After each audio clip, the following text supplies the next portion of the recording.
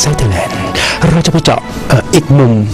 อีกมุมมืดของชีวิตมือปราบยาเสพติดนะครับเอ่อข่าวที่เขย่าวขวัญสถานทั้งประเทศเนี่ยนะครับตำรวจแม่สายสนที่กำลังกับทหารเอ่อเชียงรายเข้าไปจับกลุ่มตำรวจชัยประการค่ะที่ข้ามเขตเข้ามาขนยานะฮะที่แม่สายเอ่อ จับกลุ่มพันตำรวจโทชำนาญพุ่มไพจิต รองผู้กำกับเอ่อสพชัยปราการเชียงใหม่ที่ลักลอบเข้ามาเอ่อขนยาในเขตของแม่สายเข้าประเทศทางด้านแม่สายนะครับใช่ค่ะ ไปจับได้ที่แม่สายนะคะจังหวัดเชียงรายตำรวจขนยาขายยา มันก็เจอกันอยู่เรื่อยๆ แต่ที่เขย่าวขวัญนั่นก็คือรองผู้กำกับชำนาญเนี่ยเป็นมือปราบยา อ่าเขาบอกสเป็นร้างปราบผลชั้นงาดีนสร้างผลงานในการปราบยาเอ่อโด่งดังมาจากกระสบปราบมาโด่งดังมาจากลำปางนะฮะมันเป็นมือปราบยาติดอันดับของประเทศนะ ที่สำคัญผมเป็นวิทยากรบรรยายเกี่ยวเรื่องการตั้งด่านสกัดกั้นยาเสพติดให้กับตำรวจทั่วประเทศอีกด้วย โอ้โหโอ้โห เกิดอะไรขึ้น เกิดอะไรขึ้นในเกิดวอะงไรการขึ้นตำรวจครั้งนี้ตำรวจมือปราบมือดีด้านยาเสพติดค้ายาเสียเอง เกิดอะไรเกิดอะไรขึ้นกับมือปราบคนนี้ ค่ะ มีอนาคตนะอืม เป็นมือปราบยาติดอันดับต้นๆของของประเทศ เขาบอกเป็นมือปราบฝีมือดีฝีมือดี คนหนึ่งด้วยนะคะ แม่น่าเสียดายเออต้องมาจบอนาคตแบบนี้ มันต้องมีอะไรนะแรกๆก็บอกว่ามีหนี้สินเยอะ อ่าหนี้สากลตำรวจเป็นหนี้สากลหนี้ต้องผ่อนบ้านหลัง แต่ว่าเอิ่มเขาไปหลังจากที่จับกลุ่มก็ไปค้นบ้านนะฮะบ้านที่ลำปางบ้านที่เชียงรายก็ไปเจอทองคำแท่ง ไปเจอเอิ่มที่ซุกอยู่ในเซฟอะไรต่อมีอะไรไปกันที่พลตำรวจเอกพงศพัฒน์พงษ์เจริญ รองพบตรครับสวัสดีค่ะ ท่านรองพงศพัฒน์ขาสวัสดีครับครับครับสวัสดีครับคุณดนัยครับคุณอมรรัตน์ครับค่ะผมคงไม่ถามสวัสดีท่นผู้ฟังด้วยครับผมคงไม่ถามในมิติของคดีความก็รับรู้กันอยู่เยอะ แต่ครับผมสนใจว่ามันเกิดอะไรขึ้นกับชีวิตมือปราบหนึ่งคนที่อยู่ๆก็เกิดใจแตกกันขึ้นมา คนในพื้นที่คนรอบๆตัวเขาให้ข้อมูลเกี่ยวกับรองผู้กำกับชำนาญพุ่มไปจิตอย่างไรบ้างครับ อยู่ๆทำไมเกิดใจแตกกันขึ้นมาอื คือเมื่อวานเนี่ยผมก็คุยกับท่านพันตำรวจโทชำนาญด้วยตัวเองก็ก็นานเหมือนกันนะครับค่ะครับคือหลังจากที่ที่บันทึกภาพอะไรได้นี้แล้วผมเราก็คุยครับนั่งคุยกันต่อ เพราะว่าครับอ่าพันตำรวจโทชำนาญกับพวกเราเนี่ยก็ก็คุ้คุ้นนเคเคย ยกันทำงานกันมานานนั่นสิสมัยผมอยู่ปปสนี่ก็ทำงานกันมาเยอะครับ อ๋อร่วมมือก็กันเป็มานก่อคนนหนึ่งแต่เป็นคนหนึ่งที่ทราบข้อมูลโครงข่าย เรื่องอืมขายยาเสพติดที่ครับนำผ่านชายแดครัน บมาอยู่ที่ภาคเหนือแล้วก็อ่าลำเลียงขนส่งผ่านด่านมาสู่ภาคกลางลงไปภาคใต้อะไรต่างๆเหล่าอืนี้อฮึอืมท่านท่านเป็นคนหนึ่งที่ที่ที่มีข้อมูลโครงข่ายเนี่ยค่อนข้างเยอะครับอืมผมคิดว่าอย่างนี้ครับ คือกระบวนการอ่าสืบสวนสอบสวนการต่อจิ๊กซอว์เนี่ยเราทำอยู่แล้วนะครับท่านอือฮึท่านทนายคุณอมรรัตน์ครับแล้วก็เราก็มีข้อมูลที่ประติดประต่อเนี่ยขณะเนี้ยอ่าที่เราคุยกันเนี่ย คือเราได้ภาพที่ชัดเจนละอือฮึว่าใครสั่งยาล็อตนี้อือฮึ นะครับ แล้วจะเอายาไปที่ไหนครับนะครับ โครงข่ายที่เป็นโครงข่ายค่อนข้างใหญ่ แล้วก็มีเงินมากครับท่านค่ะพันตำรวจโทมนาถถึงเข้าไปอยู่ในวังวนอืมอืมนะครับ ถ้าโครงข่ายไม่ใหญ่ไม่มีอิทธิพลจริงทำอย่างนี้ไม่ได้ค่ะ ยาที่เราได้มาเนี่ยเป็นยาที่เพิ่งผลิตจากโรงงานเครือข่ายพันโทยี่เซฝั่งประเทศเพื่อนบ้าน แล้วเพิ่งเอาเข้ามาครับอืมพันโดโทนาถก็ไปรับด้วยตัวเองทั้งทั้งที่เราเชื่อว่าก่อนหน้านี้เนี่ยอือฮึอ่าท่านอาจจะเข้าไปเกี่ยวข้องมาระยะหนึ่งแต่ไม่นานมากครับนะครับแต่อาจจะใช้คนอื่นทำแล้วถูกจับบ้างไม่ถูกจับบ้างอะไรครับต่างๆแต่การเข้าไปขนยาด้วยตัวเองนั่นสิมากถึงแปดแสนเม็ดเนี่ยครับมันจะต้อง ให้เขาเรียกว่าถ้ากระบวนการตัดสินใจ คนระดับรองผู้กำกับที่มีข้อมูลที่เคยทำหน้าที่ตรงนี้ยจะจะจะไม่ทำด้วยตัวเองอยู่แล้ว ถ้าจะทำผิดนะครับนั่นถ้าสิคิดว่าจะเป็นเพราะขายยาเนี่ยนั่นสิจะไม่ไปขนด้วยตัวเองเออต้องต้องต้องไม่ปลื้มมือตัวเองไงถูกต้องอืมแต่ครั้งนี้เนี่ยการที่เสี่ยงเอาตัวเองเข้าไปขนเองจำนวนมากมายขนาดนี้แล้วคาดว่าจะไม่ถูกจับจะสามารถผ่านด่านได้ เพราะแต่ละด่านเนี่ยอาจจะเป็นลูกน้องตัวเองหรืออะไรอืมต่างๆ เนี่ยอืมมันจะต้องมีกลไก กระบวนการโครงข่าย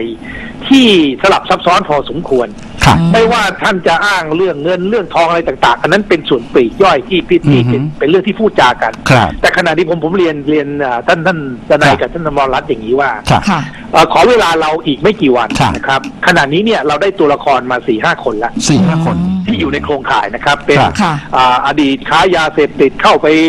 อาอยู่ในเรือนจำพ้นโทษออกมาก็มีนะครับ อยู่ในระหว่างประกันตัวก็มีนะครับ แต่โครงข่ายเนี้ยคือโครงข่ายที่สั่งยาจากภาคใต้อือฮึไปยังต้นทาง สั่งจากนะครับภาคใต้อ่าสั่งจากคนคนที่อยู่ในเครือข่ายเนี่ยอยู่ในพื้นที่ภาคใต้ แล้วก็สั่งอ่าไปยังต้นทาง ซึ่งครับซึ่งเบิร์นท่านท่านพันตำรวจโทอ่าชำนาญก็ก็เข้าไปมีส่วนตรงนี้อือฮึในการที่จะต้องไปเอายามาด้วยตัวเองเพราะว่าเป็นยาค่อนข้างเยอะอือฮึนะครับ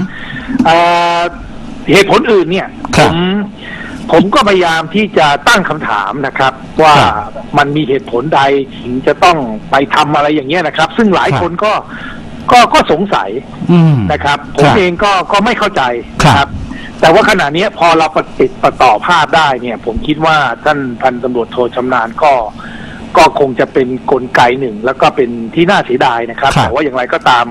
ผู้กระทำความผิดทั้งหมดในเครือข่ายนี้เนี่ยตำรวจคงจะต้องกระชากหน้ากากออกมาครับแล้วก็เป็นเรื่องที่เสียหายมากเพราะขณะนี้เนี่ยยายาที่เราจับกลุ่มได้อย่างต่อครับเนื่องมาตลอดระยะเวลาสองสามเดือนครับเนี่ยเป็นยาเก่าครับคุณคุณดนายเป็นยาเก่าที่อ่าข้ามพรมแดนมามาก แล้วก็มาซุกมาซ่อนไว้ตามพื้นที่ต่างๆ แล้วพอยาในชุมชนขาดแคลนก็เริ่มเอาของเก่าเนี่ยออกมาจำหน่ายนะครับครับ มีข้าวสารปนบ้างอะไรบ้างอะไรต่างๆเหล่านี้ค่ะแต่ว่ายาล็อตเนี้ยเป็นยาใหม่ล่าสุดใหม่เลยเพิ่งผลิตเลยเหรอคะ ซึ่งคือโอใหม่คืองี้ฮะใหม่ทั้ง คือพอเราเห็นหีพอเนี่ยนะครับ ครับ เราก็รู้แล้วนะครับ ตา 999 กับประทับตา PAD เนี่ยมาจากโครงข่ายพนโดยี่เซ อือหือ เราดูจากหีพอนะครับ ดูจากเอ่อเนื้อยานะครับ ดูองค์อือหือประกอบทางเคมีเนี่ยก็ก็เป็นยาใหม่ที่ยังไม่ได้สัมผัสกับความชื้นเลย จากครับโรงงานโดยตรงนะครับ ครับ ซึ่ง8แสนเม็ดเนี่ยเอ่อจุดหมายปลายทางเบื้องต้นที่พันตำรวจโทชำนาญบอกคือเข้ากรุงเทพ ครับ อืม จะมากรุงตอนนี้เทพเมื่อมากรุงเทพเนี่ยมันก็ต้องกระจายสู่ชุมชนค่อนข้างเยอะ ครับโชคดีที่เราได้อ่า8แสนเม็ดแล้วก็ตอนบ่ายๆเมื่อวานเนี่ยตอนก่อนครับ เที่ยงเราได้อีกประมาณได้เกือบเกือบ4แสนเม็ดจากไหนฮะจากจากโครงไหนข่ายเดียวกันครับโครงข่ายเดียวกัน แต่ว่าแต่ว่าเป็นคนละคนนะฮะ อ่าเป็นเป็นคนละคนเป็นคนละชุดครับเป็นคนละชุดอืมซึ่งครับซึ่งเดี๋ยวเดี๋ยวเราจะเอาที่จอครับตรงเนี้ยมามาต่อกันครับ ก็ก็ขอเพียงแต่เรียนว่าอ่า เราก็ทำงานกันอย่างต่อเนื่องนะครับแล้วก็เข้าใจครับดีถึงถึงความครับรู้สึกของสังคมครับในกรณีที่คนทำงานด้านปราบยาเนี่ยเข้าไปกระทำความผิดครับตัวเองนะครับครับทีนี้ก็ก็เป็นกระบวนการหนึ่งซึ่งเราก็จะดำเนินคดีทางกฎหมายการลงโทษทางทางวินงวินัยก็ว่าไปนะครับโอเคเมื่อวานเนี่ยผมก็ได้ครับมีโอกาส